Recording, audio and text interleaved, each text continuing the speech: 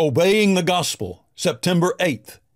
We don't get to design the path to God. You have plowed iniquity. You have reaped injustice. You have eaten the fruit of lies. Because you have trusted in your own way and in the multitude of your warriors. Hosea 10, verse 13. Trusting in our own way is a problem that shows up in many different circumstances. The basic problem is always pride, of course, but pride wears many different disguises. Some of those disguises are so subtle that we don't see the danger of them. In regard to our relationship to God, for example, we tend to view things as we wish them to be. The existence of God, we may believe there is a God because it makes us feel better. The nature of God, we may envision God in ways that harmonize with our personal preferences. The will of God, we may feel the need to reinterpret any text that seems unreasonable to us. In all of these things, rather than bow humbly before the objective truth about God, whatever the evidence indicates, we tend to accept only the truth that pleases us subjectively. We trust in our own way. Yet our track record, both individually and as a species, shows that our own opinions and judgments have not been sufficient to meet the challenges of life in this world.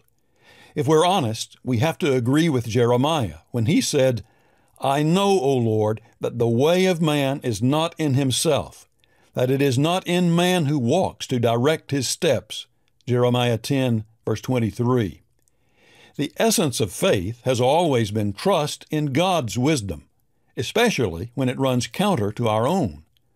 For my thoughts are not your thoughts, neither are your ways my ways, declares the Lord. For as the heavens are higher than the earth, so are my ways higher than your ways, and my thoughts than your thoughts.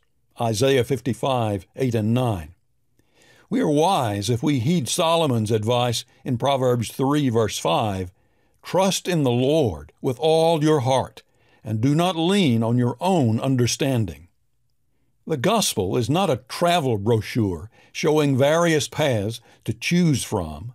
It simply offers the way of God, as it's called in Acts 18:26.